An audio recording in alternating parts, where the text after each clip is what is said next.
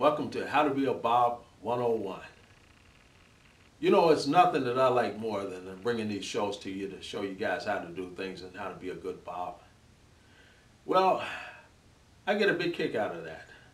Um, you know, everybody wants to know what a Bob is.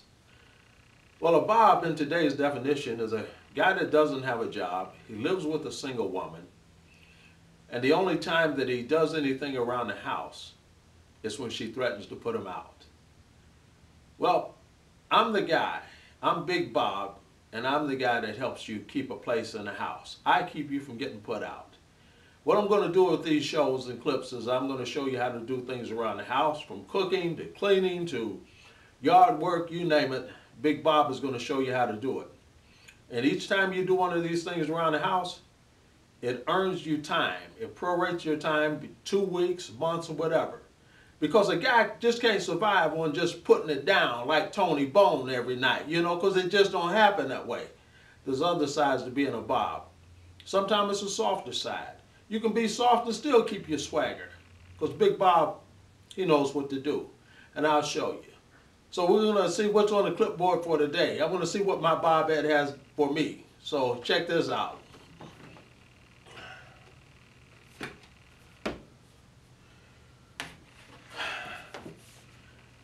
I saw a couple of roaches around the house. Would you please exterminate for us?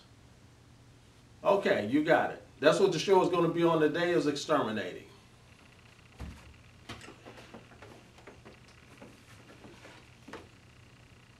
Nobody likes roaches. You can get roaches, but if you want to keep them, that's on you. But you don't have to keep them. What I've got here is some one of the best bug killers in the business. This is a do-it-yourself. You can pick this up at any one of the major stores, Home Depots or Lowe's, and it's called Ortho Home Defense. This is some of the best stuff that you can buy. You can spray it around the house, all around the corners and things like that. It's destined it will kill anything with six legs that's crawling. Uh, one of the things about it, it's got a safety factor to it and all things that you use around the house. If you got kids, It only on the perimeters of the rooms and make sure that the kids don't crawl and play in these areas because you don't want the kids to get sick by picking up some of this, this product. But uh, Big Bob says a good home is a home without bugs.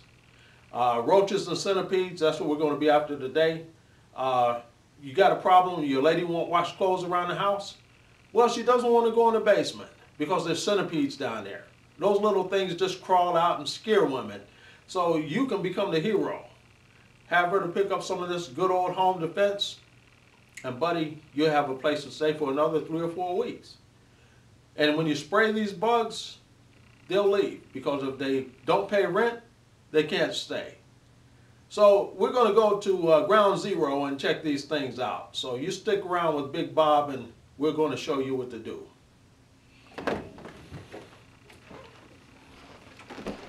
We're in the basement of uh, a neighbor's home. Uh, we're at ground zero where a lot of things take place with these uh, centipedes and things like that.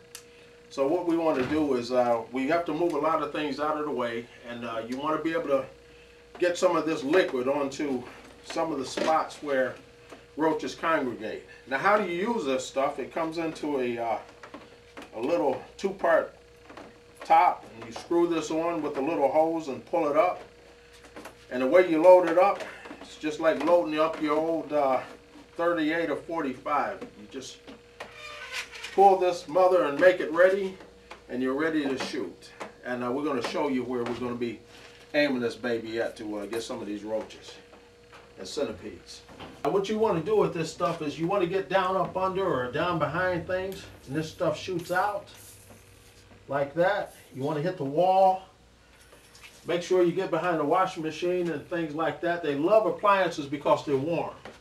Uh, one thing about bugs is they like anything with holes in it, and they like nice little wet places to uh, have their little kids at. So you want to get behind a little bit of everything and uh, make sure that you, all the edges of appliances, anywhere that they can walk and climb up onto things, just hit the rounds of your dryer the legs of the sinks, pipes, and things like that. And if they touch that stuff, buddy, you got them. Now, one of the other important places you want to get in a basement is you want to get up around these windowsills and things like that.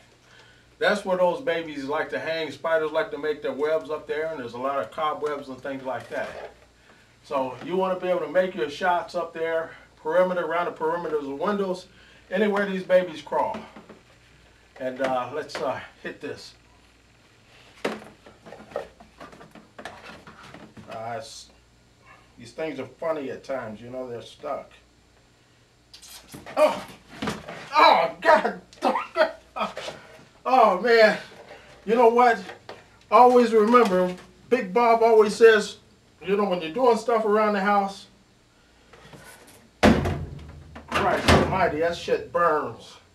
oh, man. Oh. Ah, always wear your safety goggles. You never know when you're going to run into a problem with this stuff. You know, the uh, happy exterminator is a safe exterminator. And you want to get all of those spots. Remember, Big Bob says, practice safety.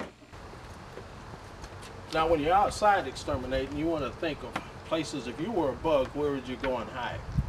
Well, you they crawl in your house under doorways and things like that. So therefore, you want to spray anything that they crawl on, steps, the edges of steps, things like that.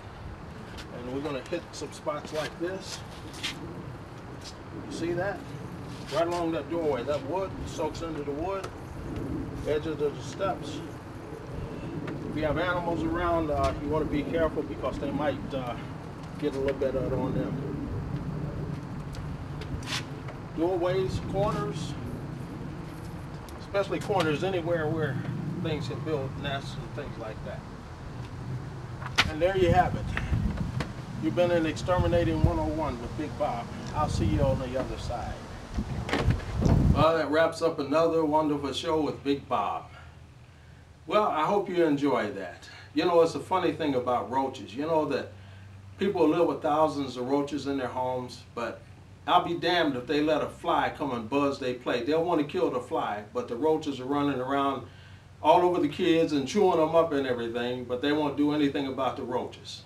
Well, if you're going to be a good Bob, you don't want to live in a situation like that. So, if you want to buy yourself a couple of weeks, get yourself some ortho, home defense, and take over the house with it, and uh, your lady will appreciate it. When those roaches are gone, you'll have a permanent place to stay. And if you ever want to know what a dead roach looks like,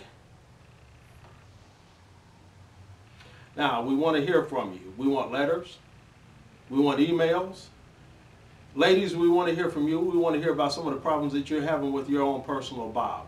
We know you got problems with them, but we can make it a little easier for you. We're, we're, your Bob will be a Bob in training with us. You just sit him down and have him to watch Big Bob, and I'll show him what to do. All right. I'll see you next time.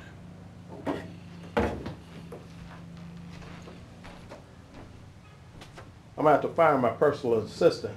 Told him to have me a shot of Hennessy. Damn it.